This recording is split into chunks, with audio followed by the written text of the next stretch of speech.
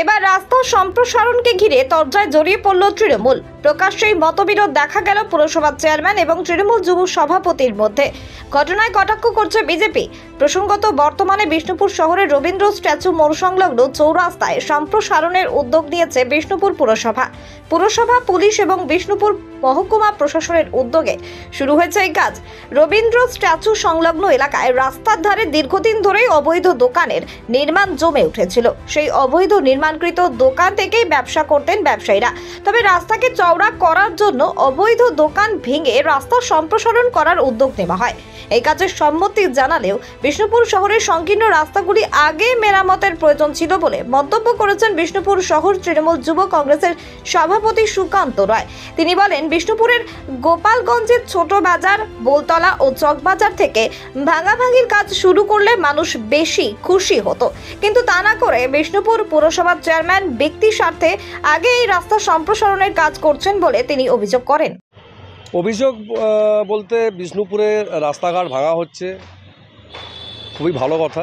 কিন্তু আমার যেটা বক্তব্য, বিষ্ণুপুরের চেয়ারম্যান যে অতি তৎপরতার সহিত এই রবীন্দ্র স্ট্যাচুর যে রাস্তা ভাঙ- ভাঙছে, এর থেকেও মানুষ যেটা অভিযোগ করছে, যেটা খুবই জরুরি ছিল গোপালগঞ্জ ছোট বাজার থেকে আরম্ভ করে বোলতলা থেকে আরম্ভ করে চকবাজার এগুলো অতি তৎপরতার সহিত যদি ভাঙতো, তাহলে খুব ভালো হতো। কারণ এইটা ভাঙছে, আমি এটা মনে করছি অনলি ফন চেয়ারম্যান ব্যক্তি স্বার্থে এই অতি তৎপরতার সহিত ভাঙ, ভাঙছে। যদি এটা ছোট, গোপালগঞ্জ ছোট বাজার থেকে, বোলতলা থেকে, চকবাজার যদি অতি তৎপরতার সহিত ভাঙতো, মানুষ খুশি হতো, কারণ মানুষ বারে বারে আমাদেরকে অভিযোগ করছে যে বিশেষ ব্যক্তির কারণে এই ভাঙাভাঙি চলছে। আমার তো মনে হয় বিষ্ণুপুরের উনি ভাষা বুঝতে পারছেন না, আমি জানি না। বিষ্ণুপুরে ভাষা যেটা ছিল, যে ভাঙাভাঙির প্রয়োজন আছে, সেই ভাঙাভাঙির প্রয়োজনে যে জায়গার প্রয়োজন ছিল, সেই জায়গা না করে অতি তৎপরতার সহিত এই রাস্তা কেন ভাঙছে, উনি সেটা বলতে পারবেন। দেখুন, অভিযোগের ব্যাপার আমরা মানুষের পাশে মানুষের পাশে দাঁড়িয়ে থাকতে চাই। এই মুহূর্তে মানুষের কাজের একটা সমস্যা চলছে, জিনিসের জিনিসপত্র দাম বাড়ছে, হঠাৎ করে এই অতি তৎপরতার সহিত পর্যটনের যে শহর, সেই পর্যটন শহরে এই জায়গাটা একটা গুরুত্বপূর্ণ রাস্তা, ভাঙার অবশ্যই প্রয়োজন আছে, কিন্তু এর থেকেও বিষ্ণুপুরে বাসী যে নিত্য প্রয়োজনীয় প্রতিদিনভাবে যে ছোট বাজার থেকে আরম্ভ করে বলতলার যে রাস্তা আছে, সেখানে একটা অ্যাম্বুলেন্স পার হতে গেলেও একটা কষ্ট কষ্ট অ্যাম্বুলেন্সকেও দাঁড়িয়ে থাকতে হয়। তো সেই রাস্তা না ভেঙে যদি এই রাস্তাটা পার্টিকুলার এত অতি তৎপর পনেরো দিন কুড়ি দিনের নোটিশে ভাঙার যে ব্যবস্থা করলেন যদি ওইটা করতো তাহলে আমরা হয়তো আমি খুশি হতাম বা আমাদের বিষ্ণুপুরবাসী খুশি হতো। কিন্তু এইটা যেটা করছে এটা আমার মনে হয় বিশেষ ব্যক্তি স্বার্থে এটা করা হচ্ছে।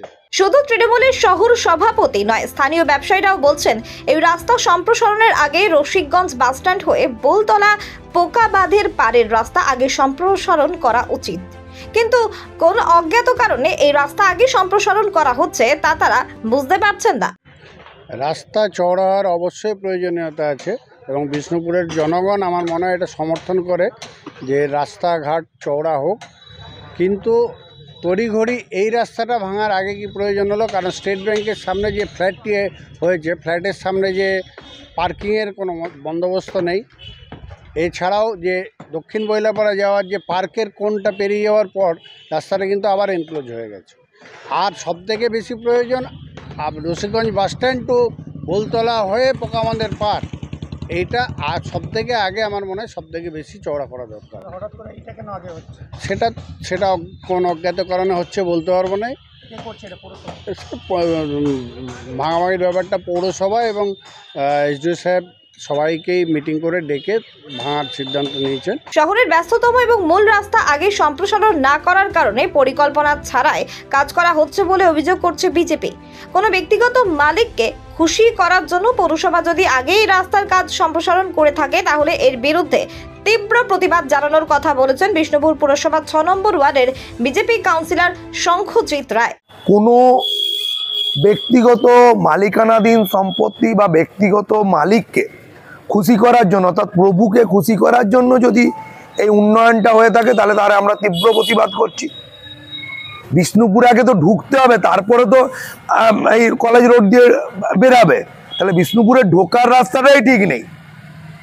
আজকে পোকামাদের পার থেকে শুরু করে, বাহাদুরগঞ্জ থেকে শুরু করে মানে যেটা ঢোকার রোড সেই রোডটাই ঠিক নেই। তাহলে ভিতরের রোডটা ঠিক করে বিষ্ণুপুরে কি উন্নয়ন হবে? বিষ্ণুপুরের যে এলাকাটাই প্রকৃত কনজাস্টেড যেখানে সত্যি উন্নয়নটা করা দরকার, সেইখানে উন্নয়নটা এখনও পর্যন্ত রাস্তা সম্প্রসারণ বা ইয়ের ক্ষেত্রে, কি বলে, পর্যটকদের সুবিধা সুযোগ সুবিধার ক্ষেত্রে সেরকমভাবে কোনো পরিষেবা গড়ে ওঠেনি।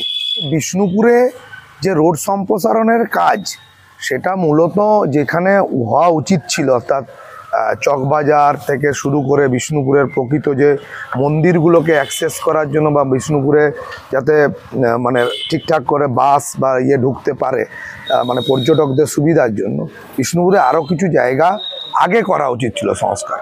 এটার আমিও মনে করি যে এর এই জায়গাটায় ভাবনা চিন্তার পরিকল্পনার অভাব আছে পৌরসভার। মূল রাস্তা আগেই সম্প্রসারণ না করার কারণে স্থানীয় ব্যবসায়ী তৃণমূল যুব সভাপতি এবং বিরোধী কাউন্সিলর কটাক্ষ করলেও বা একাধিক অভিযোগ করলেও সেই অভিযোগ আমল দিতে নারাজ বিষ্ণুপুর পুরসভার চেয়ারম্যান গৌতম গোস্বামী। ঘটনায় তিনি কি বলছেন শুনুন। হয়েছে ঘর ভাঙা শুরু হয়েছে। মানে কি কারণে ঘরগুলো ভাঙা হচ্ছে? প্রথমত বলি আমরা কোনো নোটিশ দিইনি কাউকে ঠিক আছে? তারা সরকারি জায়গার উপরে এতদিন দোকান করছিলেন। বিষ্ণুপুর শহর অত্যন্ত ঐতিহাসিক শহর এবং সেই শহরে যেভাবে যানবাহন, যেভাবে মানুষ বেড়েছে, সেই জন্য বিষ্ণুপুর পৌরসভা, বিষ্ণুপুর মহকুমা প্রশাসন, বিষ্ণুপুর পুলিশ প্রশাসন, তারা বসে সিদ্ধান্ত নিয়েছি যে রবীন্দ্র স্ট্যাচুর তিন দিক, অর্থাৎ পার্কের দিক পর্যন্ত, এদিকে এমপ্লয়মেন্ট এক্সচেঞ্জের কাছাকাছি, এদিকে পৌরসভার কাছাকাছি, প্রায় পাঁচশো মিটার করে রাস্তার সম্প্রসারণ হবে। এবং আন্ডারগ্রাউন্ড ড্রেনেজ সিস্টেম হবে, যেখানে পথ চলতি মানুষ যারা ফুটপাতে যাতায়াত করবে, তাদের যেমন ভোগান্তি কমবে, তার সঙ্গে সঙ্গে আমাদের রাস্তা বা অন্যান্য জায়গা না ভেঙে আন্ডারগ্রাউন্ড ড্রেনেজ সিস্টেম দিয়ে আমরা যদি সেই নিকাশি ব্যবস্থাকে নিয়ে যাই, তাহলে কিছুটা হলেও আমরা শহরের মানুষকে স্বস্তি দিতে পারব। আর তার সঙ্গে সঙ্গে যারা অবৈধ জায়গায় দোকান করছিলেন, তাদেরকেও আমরা কিন্তু সরকারিভাবে তাদেরকে পুনর্বাসন দেওয়ার সিদ্ধান্ত আমরা নিয়েছি। অতএব যারা আজকে দোকান তারা নিজেরাই ভেঙেছেন আলোচনার পরিপ্রেক্ষিতে এবং তাদেরকেও আমরা কিন্তু সরকারিভাবে পৌরসভার থেকে সবাইকে পুনর্বাসন দেবো। এটা হচ্ছে আপনার দলের যুব সভাপতি খোদ আপনার বিরুদ্ধে অভিযোগ তুলছে যে কি এমন প্রয়োজন বলল এত তাড়াতাড়ি এই রাস্তাটা এত গুরুত্বপূর্ণ শহরে তো যেগুলো মেন গুরুত্বপূর্ণ রাস্তা সেগুলো কেন আগে হলো না? বলতে পারব না কে কী বলেছে সেটা আমার দেখার বিষয়ও নাই। কেননা এটা প্রশাসনিক সিদ্ধান্ত সেই প্রশাসনিক সিদ্ধান্তকে আমরা মান্যতা দিয়ে মানুষের স্বার্থে মানুষের সঙ্গে কাজ করছি। বিরোধীরা যেটা বলছেন যে শহরের অনেক গোপালগঞ্জের রাস্তা বা শহরের প্রবেশ পথ যানজট অথচ শহরের মধ্যেখানে এরকম তড়িঘড়ি করে ভাঙার কেন প্রয়োজন দেখুন ঘটনা হচ্ছে রবীন্দ্র স্ট্যাচু অত্যন্ত শহরের প্রাণকেন্দ্র মূল কেন্দ্র। বিষ্ণুপুর শহরের অনেক রাস্তা আছে যেগুলো পিডাব্লিউডি মেনটেন করে আবার অনেক রাস্তা আছে পৌরসভা মেনটেন করে।